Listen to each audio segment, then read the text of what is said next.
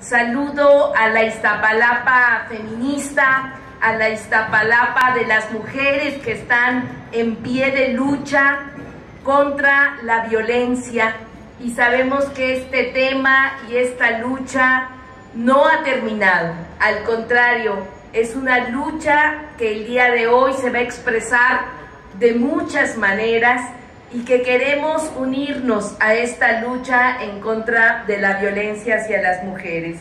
Hoy decidimos inaugurar esta casa de las siempre vivas y esta casa de las siempre vivas es un espacio integral multidisciplinario para lograr que las mujeres, que las niñas puedan venir y plantear la problemática de violencia de género.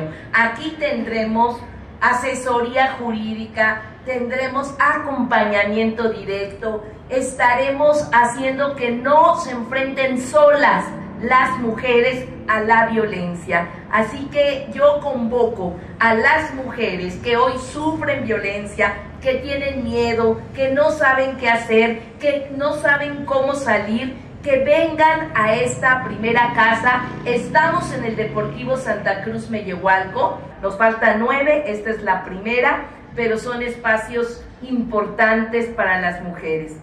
No las vamos a dejar solas, no las vamos a dejar solas y esta alcaldía el día de hoy hace y genera un espacio de atención a las mujeres. Sabemos que falta mucho por hacer, por eso seguiremos trabajando para transformar las historias de las mujeres y garantizar que sus vidas sean plenas.